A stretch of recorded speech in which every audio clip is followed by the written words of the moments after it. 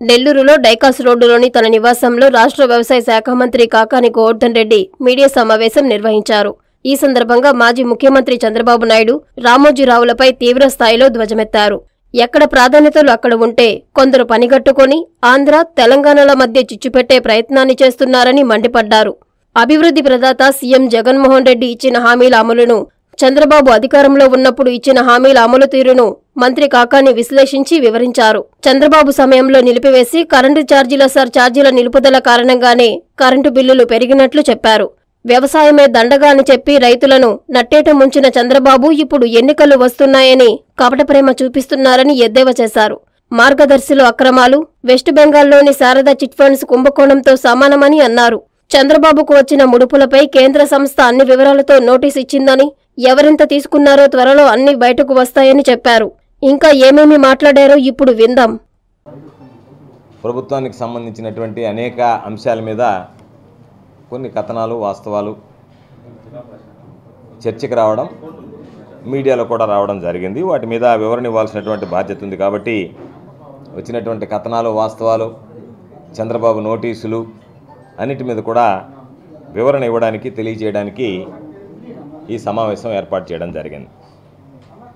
మొట్టమొదటిగా మనం చూస్తే ప్రతి అంశంలో కూడా ఈ మధ్య కొన్ని చూస్తే మనం ఏదో ఒక విధంగా ఆంధ్ర తెలంగాణల మధ్య చిచ్చు పెట్టాలనేటువంటి ప్రయత్నం కొంతమంది పనిగట్టుకుని చేస్తున్నారు. దాంట్లో ఈనోడు రామోజీరావు గారు శకుని పాత్ర పోషిస్తున్నాడు.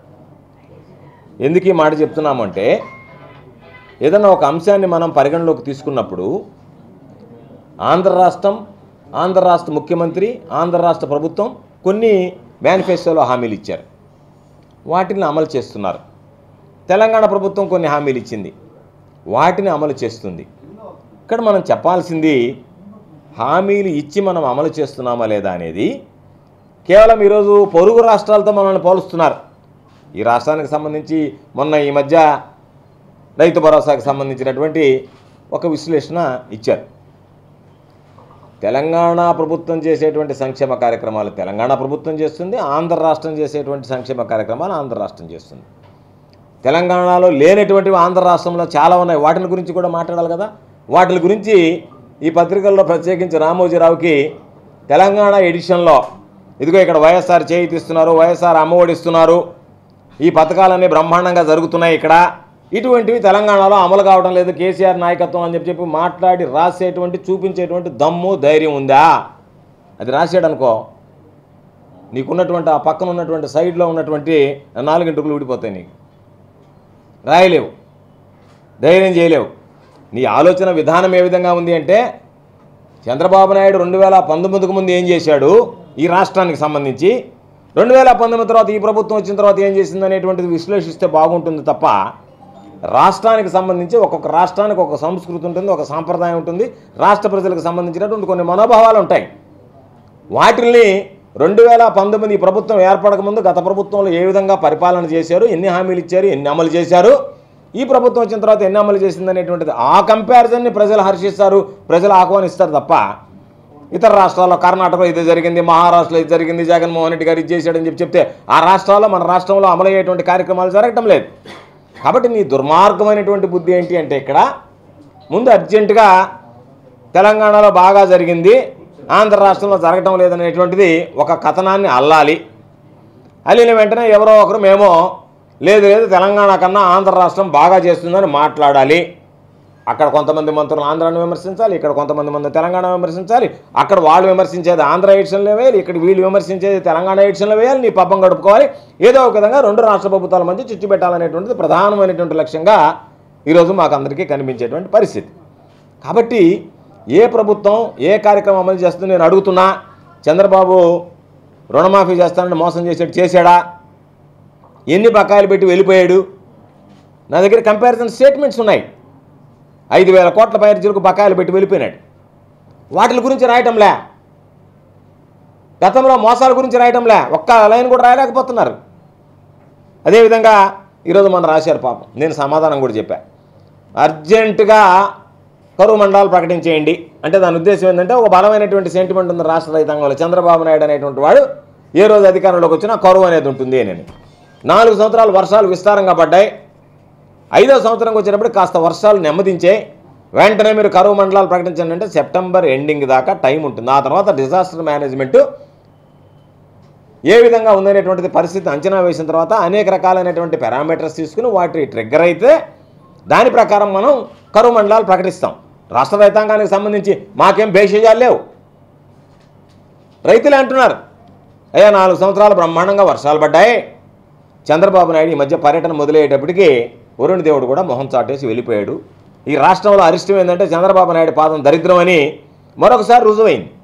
అధికారంలోకి వచ్చినప్పుడే కాకుండా అధికారంలో లేకుండా తిరిగాడు కదా ఈ మధ్య రాష్ట్ర పర్యటన చేశాడు. పాపం ఢిల్లీ కూడా మధ్యలో పోయి వచ్చాడు. భారతదేశానికి మొత్తం కరువు వచ్చింది. కాబట్టి ఏదైనా వస్తే ఈరోజు మీరు మొన్న రాశారు. ఈరోజు వర్షాలు విస్తారంగా పడ్డాయి. దాదాపుగా మా దగ్గర ఉన్నటువంటి లెక్కల ప్రకారమే ఈ రోజుకి కాస్త తక్కువ రెయిన్ఫాల్ ఉండేటువంటివి ఆరు జిల్లాలు ఉన్నాయి. మిగతా అన్నీ నార్మల్ రెయిన్ఫాల్కి వచ్చేసి. డెఫిసిట్ రెయిన్ఫాల్ ఉండేటువంటివి తగ్గిపోయాయి మనం ఈ రోజు రాసిన దానికి ఈ రోజు రాసిన దానికి తగ్గిపోయాయి వర్షాలు వస్తున్నాయి. ఈ రోజు కూడా వర్షం వస్తుంది. కాబట్టి ఏదైనా సరే ఒక పద్ధతి లేకుండా ఏమీ లేకుండా మేము ఇష్ట ప్రకారం రాసేస్తాం అని చెప్పి చెప్పి దాని గురించి రాడు. ఏ రోజైనా సరే చంద్రబాబు నాయుడు పాదం పెడితే దరిద్రము కరువు అనేటువంటిది చంద్రబాబు నాయుడే ఈ రాష్ట్రానికి పెట్టినటువంటి అరిష్టం దరిద్రం. ప్రత్యేకంగా చెప్పాల్సినటువంటి పని లేదు. కాబట్టి దాని గురించి ఏదో ఒక రకరాలైనటువంటి మాటలు మాట్లాడడం చెప్పాల్సినటువంటి పని లేదు. కాబట్టి దాని గురించి ఏదో ఒక రకరాలైనటువంటి మాటలు మాట్లాడడం. ఈ మధ్య నిన్న రాశాడు. వ్యవసాయ యాంత్రీకరణ గురించి రాశారు. ఎస్ నేను వ్యవసాయ యాంత్రీకరణ గురించి రామోజీరావు సిద్ధంగా ఉంటే నేను చెప్పేటువంటివి రాయగలిగితే నేను రెండు మూడు విషయాలు చెప్తున్నా రామోజీరావుకి. మేము రైతులకు సంబంధించినటువంటి వ్యవసాయ యాంత్రీకరణ కింద ట్రాక్టర్లు ఇచ్చాం. ఇతర వరి కోత మిషన్లు ఇచ్చాం. రొటావేటర్ లాంటి ఇంప్లిమెంట్స్ ఇచ్చాం. ఇవన్నీ ఈ ప్రభుత్వం ఇచ్చింది. గత ప్రభుత్వం ఏ విధంగా ఇచ్చింది? నేను ప్రాతినిధ్యం వహిస్తున్నటువంటి నా నియోజకవర్గంలోనే సర్వేపల్లి నియోజకవర్గంలోనే రైతులు కానటువంటి వాళ్ళు ఏదన్నా సరుకుల్ని బయటకు తీసుకెళ్ళేటువంటి వాళ్ళు వ్యాపారస్తులు వాళ్ళు కనుక మేము వైఎస్ఆర్ కాంగ్రెస్ పార్టీని వదిలి తెలుగుదేశం పార్టీలోకి చేరతానంటే వాళ్ళ కండవ కప్పి రైతు రథాలు ఇచ్చారు. సిగ్గుందా? మీకు అసలు సిగ్గుందా? ఆ పని చేయడానికి సిగ్గుండాలా రాయడానికి సిగ్గుండాలా? రెండవది ఈరోజు మేము ఇచ్చాం. వ్యవసాయాంత్రీకరణ కింద ట్రాక్టర్లు అన్నీ ఇచ్చాం. గతంలో మీరు ఇచ్చారు. మీ విధానం ఏ విధంగా ఉండేది? ముందుగా ఆ ట్రాక్టర్ కంపెనీలతో మాట్లాడుకొని ఏ కంపెనీలు మీకు ఆమ్యామ్యాలు సమర్పిస్తాయో చంద్రబాబు నాయుడు లోకేష్ వ్యవసాయ మినిస్టర్ అందరు కలిసి భాగాలు వేసుకొని దాంట్లో ఏ మోడల్ కొనాలి ఎవరి దగ్గర కొనాలి రైతు ఎంత కట్టాలనేటువంటిది కూడా వీళ్ళే నిర్ణయించేశారు. అంటే రైతుకు స్వేచ్ఛ లేదు. రైతు పాపం తనకు కావాల్సినటువంటి ట్రాక్టర్ కొనుక్కునేటువంటి స్వేచ్ఛ లేదు. లేదు రైతు వెళ్ళి పాపం తను బేరమాడుకునేటువంటి స్వేచ్ఛ లేదు. మీరు ఇంత గట్టిగారా మీకు ట్రాక్టర్ కావాలంటే అని చెప్పి చెప్పారు. సరే బాగానే ఉంది. దానికి సంబంధించి వచ్చేటప్పటికి మీరేం చేశారు? ఐదు లక్షల రూపాయలు మార్కెట్ విలువ చేసేటువంటి ట్రాక్టర్కి ఆరు లక్షల రూపాయల ధర నిర్ణయించారు. ఆరు లక్షల రూపాయల ధర నిర్ణయించి రైతుకి ఏం చెప్పారు? నువ్వు నాలుగున్నర లక్ష కట్టు మేము ఒకటిన్నర లక్ష ఇస్తాం. రైతు చేత నాలుగున్నర కట్టించాడు. ఆ రోజు బహిరంగ మార్కెట్లో ఐదు లక్షల రూపాయలు విలువ ఉండేటువంటి ట్రాక్టర్ బహుశా రైతుకి ఒక యాభై వేల ఆదాయం వచ్చి ఉండొచ్చు. కానీ మీరు మాత్రం రైతు పేరు చెప్పి మేము బల్క్లో ట్రాక్టర్లు తీసుకుంటున్నాం కదా మాకు ఇంకా యాభై వేలు తగ్గించమని కేవలం రైతు కట్టినటువంటి నాలుగు లక్షల యాభై వేల రూపాయలకే మీరు ట్రాక్టర్ ఇచ్చి సబ్సిడీ లక్ష యాభై వేల రూపాయలు రైతు పేరుతో మీరు భోంచేశారు. ఇది వాస్తవమా కాదా? లేని పక్షంలో ఎవరి దగ్గర ట్రాక్టర్ కొనాలి ఏ ట్రాక్టర్ కొనాలి ఎంత కొనాలి ఇవన్నీ మీరెవరండి నిర్ధారించడానికి రైతులకు సంబంధించి? ఈరోజు మేము ఇచ్చాం. రాయండి అది రేపు. రాయగలవా నువ్వు? ఆ ధైర్యం ఉందా? ఫామ్ మెకనైజేషన్లో మేము ఏ విధంగా ఇచ్చాం? పది శాతం రైతు కట్టాడు. యాభై శాతం ఈరోజు central bank Andhra Pradesh cooperative banks నుంచి లోన్స్ ఇచ్చాం. నలభై శాతం రైతు ఎంతకు మాట్లాడుకున్నాడో మాకు అవసరంలే రైతు ఏ ట్రాక్టర్ కొనుక్కున్నాడో మాకు అవసరంలే నూట డెబ్బై ఐదు మోడల్స్ మీరు కొనుక్కున్నారు. ఆ నూట డెబ్బై ఐదు మోడల్స్కి సంబంధించి నేరుగా ఇక్కడ బటన్ నొక్కితే రైతు ఖాతాలో జమ అయింది. మధ్యలో దళారీలు లేరే డీలర్లు లేరే ఎవరి దగ్గర కొనాలో చెప్పలేదే ఎంత కొనాలో చెప్పలేదే రైతు ఎంతకైనా మాట్లాడుకుని మనం ధర నిర్ధారించాం. ఆ నిర్ధారించినటువంటి ధరకి నలభై శాతం రైతుల ఖాతాలో వేసాం ఏదైనా వస్తే పది రూపాయలు మిగిలితే నేరుగా రైతులకు లబ్ధి చేకూర్చేట విధంగా రైతు గ్రూపులకి లబ్ధి చేకూరేటువంటి విధంగా చేసాం ఆ రైతు గ్రూప్ గ్రూపులను ఫామ్ చేశాం. మీలాగా ఒక్కొక్కడికి ఒక్కొక్కడికి ఇండివిజువల్స్ ఇచ్చి మీకు సంబంధించినటువంటి వాళ్ళకి మీకు అనుకూలంగా ఉండేటువంటి వాళ్ళకి ఇచ్చారు తప్ప రైతులకు ఇవ్వలేదు. ఈరోజు ఆ విధంగా లేకుండా ఈరోజు ఆర్బీకేలకు సంబంధించినటువంటి దాంట్లో కస్టమ్ హైరింగ్ సెంటర్స్ పెట్టి దాని ప్రకారం అందరికీ ఇవ్వాలనేటువంటి ఉద్దేశంతో గ్రూపులు తయారు చేసి ఇచ్చాం. దాని విధంగా పంపిణీ చేసాం పారదర్శకంగా పంపిణీ చేసాం ఆ గ్రూపులకు సంబంధించి మిగిలితే ఆ రైతులకు పడిపోయేటట్టు చేసాం రైతులకు ఆదాయం చేకూర్చేటువంటి విధంగా చేశాం. రైతులు ఏ ట్రాక్టర్ మోడల్ కొనుక్కోవాలంటే ఆ ట్రాక్టర్ కొనుక్కునేటువంటి విధంగా వాళ్ళకి ఈరోజు మనం సహకరించాం. మరొకటి నిన్న ఇక్కడ కేతిగాడు ఉన్నాడు తోలుబొమ్మలాటలో ఏం పని ఉండదు వెళ్ళి పాపం ఒక కండలేరు ఎత్తిపోతలకు సంబంధించి నీళ్ళు ఆగిపోయినాయి పంటలు ఎండిపోతాయి. అసలు వ్యవసాయం తెలిసినటువంటి వాడుకో వాడు తిరిగినటువంటి వాడుకో అర్థమవుతుంది. కండలేరు హై లెవెల్ కెనాల్కి సంబంధించి దరిద్రం చంద్రబాబు నాయుడు దరిద్రుడు చంద్రబాబు ఉంటేనే ఆ దరిద్రుడు ఉన్నప్పుడే మోటార్లు ఆన్ చేసేది. ఎందుకు? నీళ్ళు అడుగట్టిపోతాయి కాబట్టి. మేము వచ్చిన తర్వాత గ్రావిటీతోనే బారాయి రాజశేఖర రెడ్డి గారు ఉన్నప్పుడు గ్రావిటీతో నీళ్ళు బారే కండలేరు ఎడమ సంబంధించినటువంటిది. మరలా ఈరోజు గ్రావిటీతో నీళ్ళు బారాయి. బుద్ధిమాన వాళ్ళకి రాసేవాడికైనా సిగ్గు ఉండాలా చెప్పేవాడికైనా బుద్ధి ఉండాలా ఎక్కడన్నా రెండో పంట వేస్తారు ముందు రోజు ఇరవై వేల ఎకరాలు ఎండిపోయింది అన్నారు రెండో రోజుకి వచ్చినప్పటికీ ఉద్యానవనం తోట వెళ్ళిపోతున్నారు. నేను నిద్ర లేస్తే నేనేమో ఎన్నో అలీపురంలోనో హైదరాబాద్లోనో బెంగళూరులోనో బంగాళాలు కూడా కూర్చునేవాడిని కదా నేను. నిద్ర లేస్తే రైతులతో ప్రజలతో ఉండేటువంటి వాడిని. ఏ ఒక్క రైతు ఎప్పుడు అడిగినా సరే వెంటనే స్పందించేటువంటి వాడిని.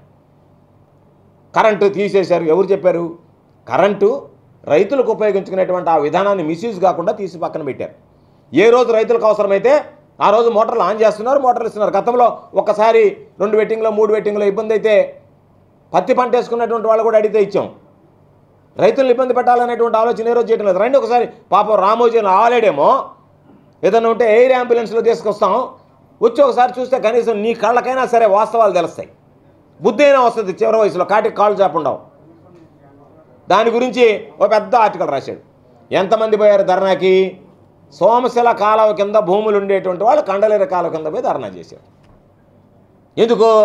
రైతులు రాలేదు మనుషులు రాలేదు కాబట్టి తెలుగుదేశం పార్టీకి సంబంధించినటువంటి నాయకుల్ని కార్యకర్తలను జమ చేసి పంపించాం. నిజంగా అక్కడ రైతాంగానికి సంబంధించినటువంటి సమస్య ఉండి ఉంటే ఎంతమంది రావాలా? ఆ ఫోటో చూస్తేనే సిగ్గు రాయబడ నీకు రాయడానికైనా సిగ్గు ఉండబడ ఈ ఫోటోలో ఉండేటువంటి వాళ్ళని చూసి ఏం రాస్తాం? పది మంది నేను చెప్పి చెప్పి. వాళ్ళు అసలు రైతులు కాదు. ఆ వచ్చినటువంటి వాళ్ళలో కొంతమంది తెలుగుదేశం పార్టీ నాయకులై ఉండొచ్చు కానీ కార్యకర్తలు ఉండొచ్చు కానీ రైతులకు సంబంధించినటువంటి సమస్య అక్కడ ఉందంటే అందరికన్నా ముందు రైతు సంక్షేమం కోసం పనిచేసేటువంటి వాటిలో ముఖ్యమంత్రి గారు మేము ముందుంటాం తప్ప మీలాగా రాసేటువంటి పరిస్థితి ఉండదు. సరే ఈరోజు మాట్లాడాడు ఇది ఆయన నేను ఏదో చెప్తున్నాడు కరెంటు బిల్లులు కట్టనందువల్ల అని చెప్పి చెప్పి బుద్ధి మాలిన వాళ్ళలారా మీకు కనీసం బుద్ధైనా ఉండాలి మాట్లాడడానికి. కరెంటు కనెక్షన్ ఇచ్చింది ఇరవై ఎనిమిది ఆరు రెండు వేల పదిహేడు. రెండు వేల పదిహేడో సంవత్సరం జూన్ నెల ఇరవై ఎనిమిదో తేదీ కరెంట్ ఇచ్చారు.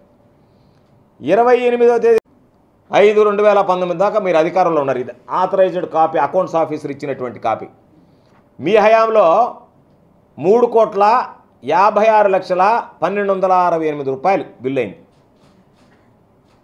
తెలుగుదేశం హయాంలో చంద్రబాబు నాయుడు మాట్లాడుతున్నాడు నేలకుతున్నాడు నా హయాంలో రైతు రైతు సంక్షేమం అని. ఇది ఆధారం ఇది ఆథరైజ్డ్ కాపీ రేపు నీ కూడా కూడా ఆర్టీఐ కింద ఇస్తారు. మూడు కోట్ల యాభై ఆరు లక్షల పన్నెండు వందల అరవై ఎనిమిది రూపాయలు మీ హయాంలో బిల్ అయ్యాయి. మా హయాంలో ఒక కోటి ఇరవై నాలుగు లక్షల రూపాయలు అయింది మొత్తం నాలుగు కోట్ల ఎనభై లక్షల రూపాయలు అయితే దానికి తమర వృద్ధి తమరు చేసినటువంటి పనులని దరిద్రమే కదా ఈ రాష్ట్రానికి. దరిద్రుడు చంద్రబాబు దరిద్రం పట్టినట్టు కదా ఈ రాష్ట్రానికి రైతులకి. దానికి సంబంధించినటువంటి దాంట్లో సర్ఛార్జీలు వాళ్ళు. ఆ రోజు నువ్వు కాల్చినటువంటి మూడు కోట్ల యాభై ఆరు లక్షలకు సంబంధించినటువంటి సర్ఛార్జీలు నాలుగు కోట్ల ఇరవై లక్షలు కూర్చొని తొమ్మిది కోట్లు అయింది అయితే మేము అయా ఆయన కట్టాడు కాబట్టి మేము రైతులకు నీళ్ళు ఇవ్వం అంటంలే. అది కారణంగా చూపించడంలే మీరు బుద్ధిమాలిన మాటలు మాట్లాడి ఈ ప్రభుత్వం బిల్లులు కట్టలేదు కాబట్టి అంటే మీ ప్రభుత్వం ఎగ్గొట్టినటువంటి బిల్లులు కూడా మేము కడుతున్నాం ఇది కూడా కడతాం. కానీ ఈ బిల్లుకి రైతులకు సంబంధించినటువంటి నీటికి సంబంధం లేదు. రైతులకు ఎప్పుడు నీళ్ళు అవసరమైతే వెంటనే ఎలక్ట్రిసిటీ డిపార్ట్మెంట్ ఎందుకంటే రెండు గవర్నమెంట్ డిపార్ట్మెంట్స్. ఎలక్ట్రిసిటీ డిపార్ట్మెంటు ఈరోజు దానికి సంబంధించి సహకరిస్తుంది. ఇరిగేషన్ డిపార్ట్మెంట్ వాళ్ళు సార్ మాకు ఈ విధంగా నీళ్ళు కావాలని వెంటనే కనెక్ట్గా పోయినసారి నా దగ్గరకు వచ్చి చెప్తే వెంటనే చెప్తే ఎస్సీ గారు రెండు గంటల లోపల కనెక్షన్ రెస్టోర్ చేశాడు. వెంటనే దానికి సంబంధించినటువంటి నీళ్ళు కొట్టుకున్నారు. కొట్టుకున్న తర్వాత వాటిని మిస్యూజ్ కాకుండా రైతులకు మాత్రం ఉపయోగపడాలనేటువంటి వాటితో డిస్కనెక్ట్ చేశారు తప్ప దానికి సంబంధించినటువంటి దాంట్లో రైతాంగ ప్రయోజనాల దృష్టిలో ఈ ప్రభుత్వానికి ఎవ్వరూ చెప్పాల్సినటువంటి అవసరం లేదు జగన్మోహన్ రెడ్డి గారి ప్రభుత్వానికి. అందరికన్నా ముందు రైతాంగానికి సంబంధించినటువంటి రైతాంగానికి సంబంధించినటువంటి వాటికి సంబంధించి ఏదన్నా ఉంది అంటే ముందుగా స్పందించేవాడు జగన్మోహన్ రెడ్డి గారు. నిన్న మాట్లాడాడు. సరే ఆ దరిద్రుడు ఏం మాట్లాడుతున్నాడు కూడా తెలియదు చంద్రబాబు. వాడు అసలు ఎట్ట పద్నాలుగు సంవత్సరాలు ఈ రాష్ట్రానికి ముఖ్యమంత్రిగా పనిచేసాడు తెలియదు కానీ ఏదంటే అది నోటికి ఏది వస్తే అది మాట్లాడుతున్నాడు. చండాలమైనటువంటి భాష చండాలమైనటువంటి ఆ నోరు కంపు కొడతా ఉంది. ఒళ్ళు ఎట్ట కంపు కొట్టద్దో ఆ నోరు కూడా అట్టే కంపు కొడుతుంది చంద్రబాబుకి. నిన్న మాట్లాడాడు కరెంటు మీటర్లు బిగిస్తే నా సత్తా ఎందుకు చూపిస్తాను బుద్ధుందా నువ్వు మనిషివేనా? నీది మనిషి జన్మేనా? నువ్వు మనిషి జన్మెత్తి పుట్టినటువంటి వాడివేనా? ఎందుకు మాట్లాడుతున్నానంటే ఇవి నువ్వు ముఖ్యమంత్రిగా ఉన్నప్పుడు అసలు కరెంటు ఉచితంగా ఇవ్వడానికే వీలేదని మాట్లాడినటువంటి వాడివి.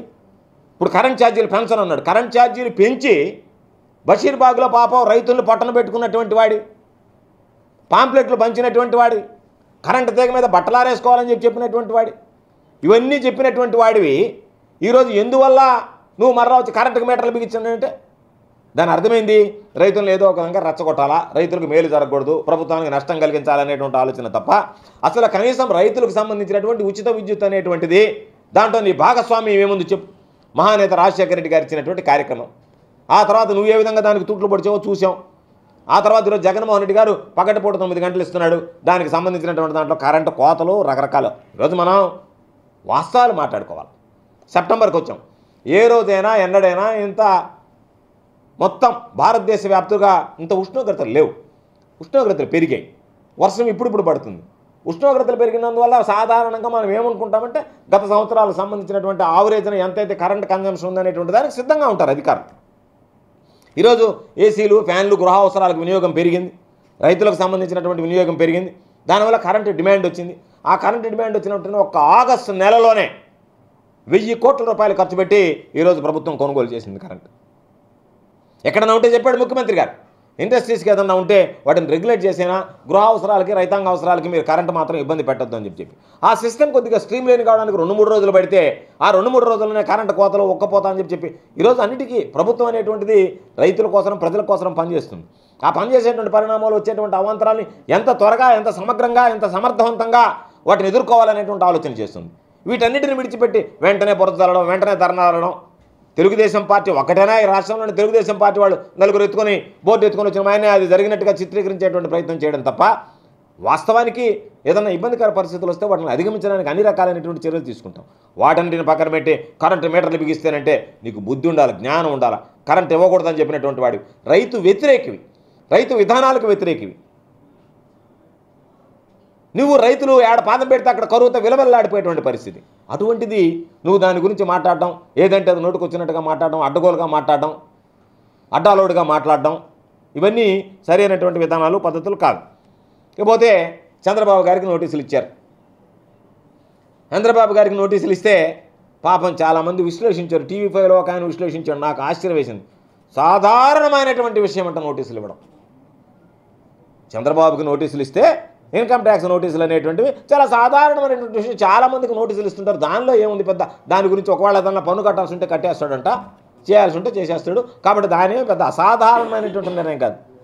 నోటీసులు సాధారణమని ఎవరికే ఎవడన్నా వాడి రెక్కల కష్టంతో కష్టపడి పనిచేసి సంపాదించుకున్నటువంటి దానిలో ప్రభుత్వం నియమ నిబంధనల ప్రకారం ఇన్కమ్ ట్యాక్స్ కట్టకపోతే అతను కట్టాల్సినటువంటి డబ్బుకు నోటీసులు ఇవ్వడం అనేటువంటిది సాధారణమైనటువంటి విషయం. అది సాధారణం. నేనున్నా సంపాదించుకున్నా సంపాదించుకున్న దాంట్లో నియమ నిబంధనల ప్రకారం ఇన్కమ్ ట్యాక్స్ కట్టలే. నా సంపాదనలో నేను కట్టాల్సినటువంటి పన్ను ప్రభుత్వానికి ఏదన్నా కట్టకపోతే దానికి నోటీస్ ఇవ్వడం దానికి సంబంధించి పన్ను కట్టడమా? లేకపోతే వివరణ ఇవ్వడం అనేటువంటిది సాధారణమైనటువంటి విషయం. నీది అది ఎట్టవుతుంది నువ్వు చేసినటువంటి ఘనకార్యం ఏంది?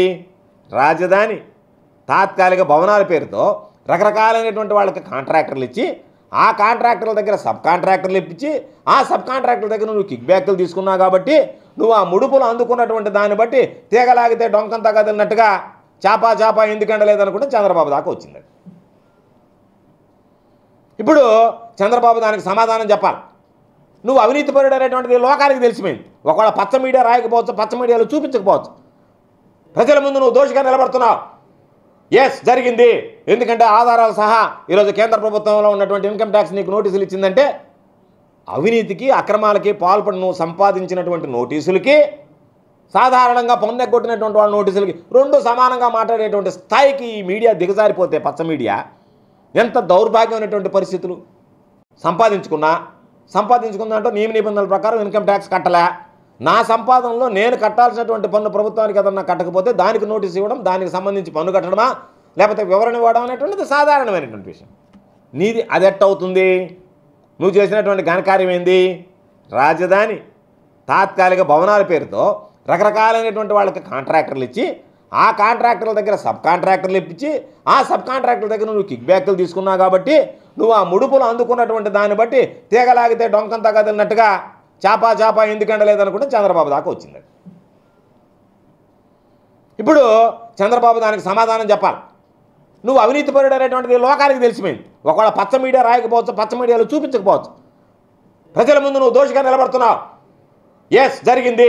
ఎందుకంటే ఆధారాలు సహా ఈరోజు కేంద్ర ప్రభుత్వంలో ఉన్నటువంటి ఇన్కమ్ ట్యాక్స్ నీకు నోటీసులు ఇచ్చిందంటే అవినీతికి అక్రమాలకి పాల్పడి నువ్వు సంపాదించినటువంటి నోటీసులకి సాధారణంగా పొందెగొట్టినటువంటి వాళ్ళ నోటీసులకి రెండు సమానంగా మాట్లాడేటువంటి స్థాయికి ఈ మీడియా దిగజారిపోతే పచ్చ మీడియా ఎంత దౌర్భాగ్యమైనటువంటి పరిస్థితులు? కాబట్టి చంద్రబాబు నాయుడు ఏది చేసినా దాని గురించి మాట్లాడటంలే. చంద్రబాబు నాయుడు ఎవరిని ఇవ్వాలి కదా? ఇదిగో నేను చేయలేదు నేను పాల్పడలేదు వీళ్ళెవరో నాకు తెలియదు అసలు వీళ్ళకి నాకు సంబంధం లేదు అని చెప్పి మాట్లాడాలి కదా? నిద్రలేస్తే నీ కొడుకు దగ్గర తిరిగినటువంటి వాళ్ళు నీ ఆఫీసులో కూర్చున్నటువంటి వాళ్ళు నీ దగ్గర లావాదేవీలు చేసినటువంటి వాళ్ళు ఎలక్షన్లో నువ్వు డబ్బు ఎక్కడికి చేర్చమంటే అక్కడికి చేర్చినటువంటి వాళ్ళు వాళ్ళు ఈరోజు వాళ్ళు రాసుకున్నటువంటి డైరీల్లో సాక్ష్యాల ఆధారాలతో సహా చంద్రబాబు నాయుడుకి ఈ ముడుపులు అవినీతి అక్రమ మార్గాల్లో ముట్టాయనేటువంటిది నిర్ధారణ చేసుకున్న తర్వాత నేను వివరణ అడిగితే దానికి సంబంధించి నాకు సంబంధం లేదంటాడు. నేను కోర్టుకు పోతానంటాడు. నేను ఇంకొకటి చేస్తానంటాడు. బెదిరింపుగా లేఖలు రాస్తాడు. ఇవన్నీ చూస్తే చంద్రబాబు నాయుడు ఈరోజు ఫ్రస్ట్రేషన్లోకి వెళ్ళిపోయాడు. దానిలో నుంచి బయటపడడానికి ఈరోజు రకరకాలైనటువంటి కథనాలు అల్లతా. చంద్రబాబు నాయుడు నోటీసులు మాత్రం రాయకుండా చంద్రబాబు నాయుడు నోటీసుల గురించి మనం మాట్లాడుతున్నాం కాబట్టి దాన్ని ఏదన్నా కప్పిపుచ్చడానికి ఏదో ఒక దాన్ని తీసుకొచ్చి జగన్మోహన్ రెడ్డి గారి మీదనో వైఎస్ఆర్ కాంగ్రెస్ పార్టీ ప్రభుత్వం మీదనో మరొకటో మరొకటో ఈ మైండ్ గేమ్ ఆడేటువంటి పరిస్థితికి వచ్చారు. కాబట్టి దయచేసి ఈ మైండ్ గేమ్లు ఆడద్దు. ఎందుకంటే ఈరోజు ఆంధ్ర రాష్ట్రంలో మనం పెట్టినటువంటి కత్వ పథకాలు ఏదైతే ఉన్నాయో ఈవెన్ కేసీఆర్ గారు కూడా చెప్పాడు. ఎస్ వన్ నాట్ ఫోర్ బ్రహ్మాండమైనటువంటి పథకం వన్ నాట్ ఎయిట్ బ్రహ్మాండమైనటువంటి పథకం ఆరోగ్యశ్రీ బ్రహ్మాండమైనటువంటి కార్యక్రమం. ఇవి బ్రహ్మాండంగా జరిగాయి. ఇది మా- ఈరోజు ఉన్నటువంటి ఫీజు రియంబర్స్మెంట్ బ్రహ్మాండమైనటువంటి కార్యక్రమం. వాటిని మేము కొనసాగిస్తున్నామని ధైర్యంగా చెప్పాడు.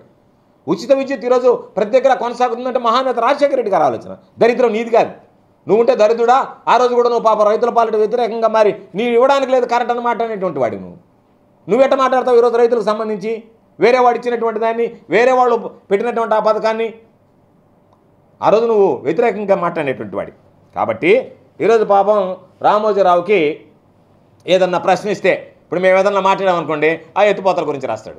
ప్రభుత్వం ఏదన్నా మాట్లాడింది అనుకోండి మార్గదర్శనం గురించి మార్గదర్శనం మీద సోదాలు జరిగాయి అనుకోండి నా మార్గదర్శనం మీద మీరు సోదాలు చేస్తారా? అడిగితే నేను మీకు వ్యతిరేకంగా రాస్తాను. మార్గదర్శి చిట్ ఫండ్స్ అనేటువంటిది నేను జోష్యం చెప్తున్న ఈరోజు మరొక శారదా చిట్ ఫండ్స్ లాగా తయారయ్యేటువంటి పరిస్థితి వెస్ట్ బెంగాల్లో కలకత్తాలో ఏదైతే శారదా చిట్ ఫండ్స్ తయారయ్యాడో అంతకన్నా దారుణంగా దౌర్భాగ్యంగా ప్రజల దగ్గర ఈరోజు అక్రమంగా డిపాజిట్ చేయించుకొని వాటన్నిటిని బదలాయించి ఏదో ఒకరోజు బోర్డు ఎత్తేస్తే పాపం వీళ్ళు వీధిని పడేటువంటి పరిస్థితి ఏర్పడుతుంది. కాబట్టి ముందుగానే ఆ ప్రమాదాన్ని గమనించి పసిగట్టి ఈరోజు దానికి సంబంధించినటువంటి చర్యలు తీసుకుంటుంటే నువ్వు ఇవ్వాల్సినటువంటి వాళ్ళు పాపం ఈరోజు వాళ్ళని బెదిరించో రకరకాలుగా చిట్లు కట్టినటువంటి వాళ్ళకి డబ్బులు ఇవ్వకుండా అనేక రకాలైనటువంటి నియమ నిబంధనలు పెట్టి వాళ్ళని సంవత్సరాల పాటు తిరుగుతుకుంటా ఎన్ని దారుణమైనటువంటి పనులు మీడియాని అడ్డం పెట్టుకొని నా చేతిలో మీడియా ఉంది కాబట్టి నేను ఏమి రాస్తే అది వాస్తవం నేను ఏమి చెప్తే అదే నిజం అన్నట్టుగా ప్రవర్తించేటువంటి పరిస్థితులు మంచిది కాదు. కాబట్టి తప్పనిసరిగా ఈ ప్రభుత్వం ఈ రాష్ట్ర ప్రజల ప్రయోజనాల కోసం వ్యవసాయాలకు సంబంధించినటువంటి అన్ని రకాలైనటువంటి రైతాంగ సంక్షేమం కోసం పనిచేసేటువంటి ప్రభుత్వం.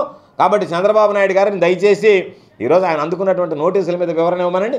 పచ్చ మీడియాను కూడా ఆ నోటీసుల గురించి రాస్తే ఇదిగో నోటీసులు అందే. ఈ విధంగా ఆధారాలు ఉన్నాయి.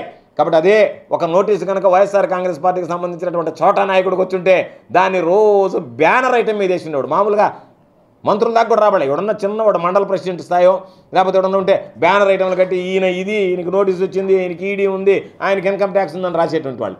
కాబట్టి వా వార్తలు పత్రికలు మీడియా నిష్పక్షపాతంగా వ్యవహరించాలి తప్ప పక్షపాతంగా ఒకరికి ఆయోచితమైనటువంటి లబ్ధి చేకూర్చాలా ఒకరి మీద బురద జల్లాలనేటువంటి విధానాలకి వయసు ఉడికినటువంటి రామోజీ గారు స్వస్తి బలికితే మంచిది అని చెప్పి ఈ సందర్భంగా ఆయనకి హితవు చెప్తున్నాం వాటి మీద పూర్తి మీద ఎంక్వైరీ జరిగితే చంద్రబాబు నాయుడుకి సంబంధించి ఒక కేంద్ర ప్రభుత్వ సంస్థ నిర్దిష్టమైనటువంటి ఆధారాలు సేకరించి ఆధారాలు ఇదిగో నేను రుజువుపరుచుకొని ఈరోజు నోటీస్ ఇచ్చింది చంద్రబాబు నాయుడుకి ఏమో మామూలుగా ఎవరికంటే వాళ్ళకి నోటీస్ ఇవ్వరు కదా. చంద్రబాబు నాయుడుకి డబ్బు చేరింది అనేటువంటిది నిర్ధారించుకున్న తర్వాత ఏ విధంగా చేరింది ఏ మార్గాల్లో చేరింది వీళ్ళు ఎవరికి ఇచ్చారో వాళ్ళు ఏ విధంగా డ్రా చేశారు ఏ విధంగా ఇచ్చారు అనేటువంటి అన్ని వివరాలు ఆ లింక్ ఏదైతే ఉందో ఆ లింక్ ఎస్టాబ్లిష్ అయింది కాబట్టి చంద్రబాబు నాయుడికి అక్రమంగా ముడుపులు చేరాయి అవినీతి డబ్బులు అనేటువంటిది నిర్ధారణ చేసుకుని నోటీసులు ఇచ్చింది దాని మీద చంద్రబాబు నాయుడు ఎక్కడెక్కడ ఏమేం చేసుకున్నాడు అనేటువంటి వాస్తవాలు కూడా బయటకు వస్తాయి. ఎందుకంటే చంద్రబాబు నాయుడు గురించి మేము గతంలో చెప్పాం. ఈరోజు చెప్పడం కాదు. చంద్రబాబు నాయుడుకి బంగారు బాతలాగా దొరికింది రాజధాని తాత్కాలిక కట్టడాలు. దీంట్లో చంద్రబాబు నాయుడు పిండి వదిలిపెడుతున్నాడు ఒక్కొక్కటి లేకుండా అని చెప్పి చెప్పాం. అవన్నీ ఈరోజు మేము చెప్పినటువంటివన్నీ వాస్తవాలని చెప్పి తెలిసే కాబట్టి దానికి సంబంధించి నోటీసులు ఇచ్చారు. ఆ నోటీసులు ఇవ్వగానే పాపం చంద్రబాబు నాయుడు నోరు పడిపోయింది దాని విషయంలో. మిగతా విషయాల మీద నోరు లేస్తా ఉంది. కాబట్టి అన్ని వాస్తవాలు వెలుగు చూస్తాయి. చంద్రబాబు నాయుడు తప్పనిసరిగా వీటికి సంబంధించి ప్రజల ముందు దోషిగా ఈరోజు నిలబడేటువంటి పరిస్థితి ఏర్పడింది. ఎవరు ఎన్ని మాట్లాడినా ఎవరు ఎన్ని రాసినా ఆంధ్ర రాష్ట్ర ప్రజలు ఈరోజు నిర్ధారించేశారు. చంద్రబాబు దోషి అవినీతిపరుడు అక్రమాలకు పాల్పడ్డాడని.